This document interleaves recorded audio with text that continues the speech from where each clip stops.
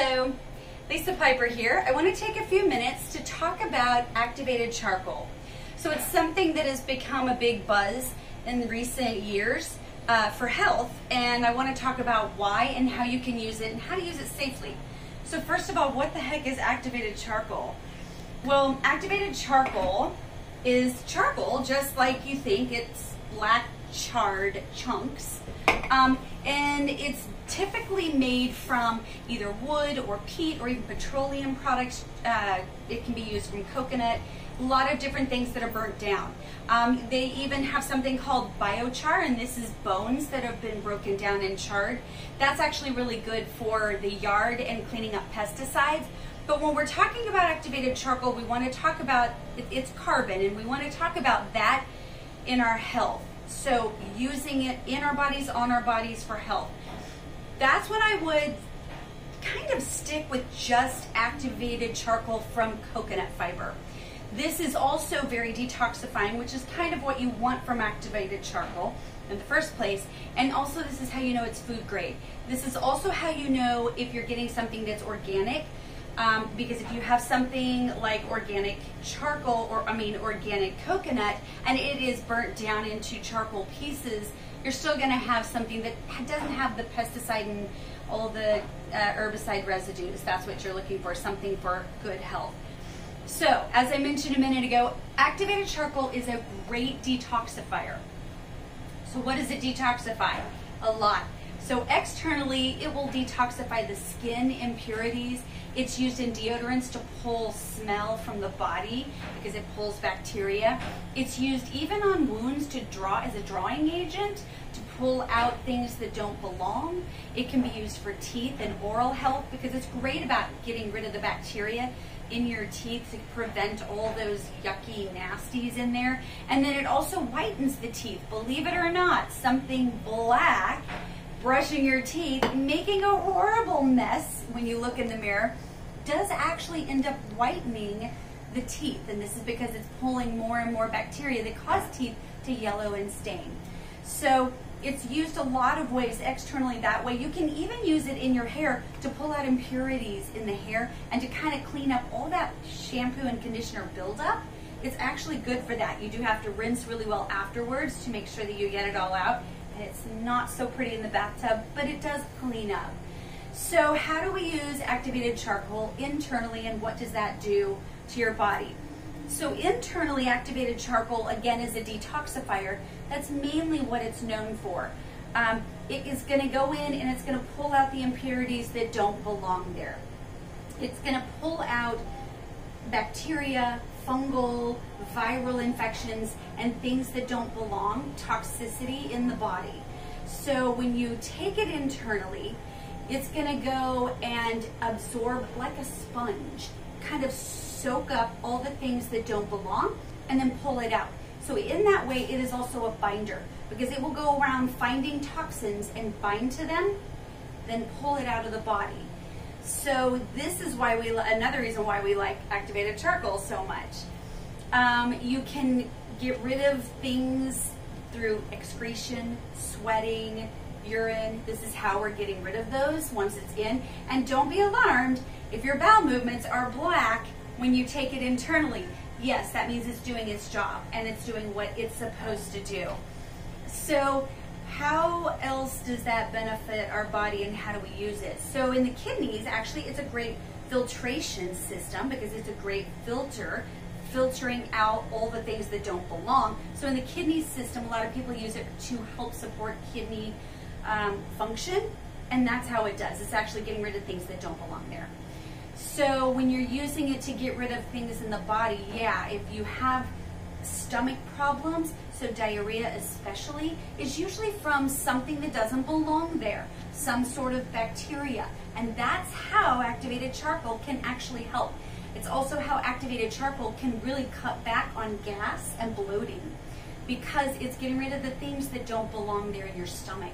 So it's nice right after you eat something that you know you're reacting to and not feeling so great. It's a great way to pull that out of your body including allergens that your body's response happens to be uh, gastric of some sort. So that's also how it can help. Um, a lot of times hospitals will actually use activated charcoal to pull poisons out of the body when people ingest too much of something. It's great at pulling out NSAIDs and anti-inflammatories, sedatives, antidepressants. It's great when people overdose on those things or take too much or poison their bodies to pull it out. So sometimes if you do large doses because of poisoning, and that's what you would need, it's gonna come back up this direction, but that's what it's gonna do. Go in, absorb, come back up. It'll go both directions, but that's the idea of pulling out the poisons that way. So does it pull out all poisons? No. It's not that great for alcohol. It's not that great for gasoline or petroleum or cyanide. There's certain things, or even opiates. It's not the best for pulling those out, and that's because the way that the body absorbs those differently but it is really good at other overdoses. So that's why often hospitals will use it in that way. Also, if you have had a, a really bad infection and you have had to be on a lot of uh, antibacterial, antifungal, whatever it is that maybe you got a bunch of antibiotics and your stomach didn't do so well with it. When you're done with the dosage and you're over it, you can also take that activated charcoal to pull some of the things out that may be left behind residually that's not so great, and also all the antibiotics that you may not want in your body. So this is the way you can use it. So how do we do it safely? So I always tell people it's best to use activated charcoal one to two hours away from other supplements, vitamins, maybe medicines that you need, and even really good foods that you need or nutrients. Um, and that's because sometimes it can pull out those things that you need. There's mixed um, ideas and theories on this. If you talk to somebody like David Avocado Wolfe, he says, no, it's fine. It's only going to attach to the things that don't belong because activated charcoal is going to look for the synthetic foreign substance, something that doesn't belong there. That's what it binds to and then pulls it out. And that's why he says it's perfectly safe to take with food um, and other things. You don't have to worry about it. Other people will tell you don't take your supplements with it and don't take your medicines with it because those are not from nature, right? Those are actually man-made. Even our supplements that are derived from parts of nature are parts. They're not whole plant usually. And so usually that's when you certainly go in and then get rid of it. And you don't want to be taking lots of really good expensive supplements and then out the do- out they go before your body has a chance to use them as fuel. So it is a good idea in that sense to give it one to two hours before or after those items. So for me, I like to take it and put it in my morning smoothie because I'm just using full whole plants and I will do it to kind of reset my gut for the morning and anything the day before that maybe I need to detoxify. Right now, I happen to be detoxifying mold out of my body, and it's a great binder and a great way to do that. So I will do that, give my body a couple hours before I then later take my supplements. So in that way, it's okay. So how about dosage? Typical dosage for an adult body, average adult body is anywhere from 25 milligrams to 100 milligrams. So this just really depends on your body and your goal and what is it that you're detoxifying out. Is it something just a little unpleasant and you just need a little bit of something? Start with a smaller dose. Most people find they need to kind of ease their way up to larger doses Otherwise, their stomach goes, wow, this is a little too much, and they're running to the restroom because it's doing its job, right?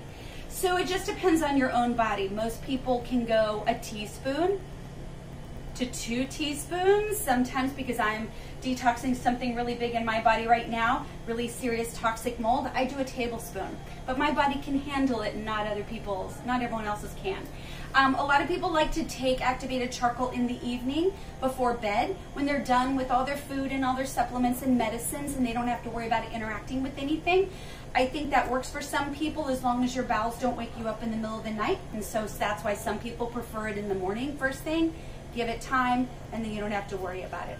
So there's lots of safe ways you can do activated charcoal. Just remember as a rule of thumb, try to do it away from other uh, supplements and medicines, and then ease your way into the dosage that you're doing. And then you'll see all the difference in benefits. So if you have questions or ideas about this, I'd love to see your comments below. And then if you like uh, videos like this and find them informative, please let us know. Give us a like, share this with a friend. And then, of course, you can find more information about our store um, here in League City, Texas at shopnaturalliving.com. Thanks.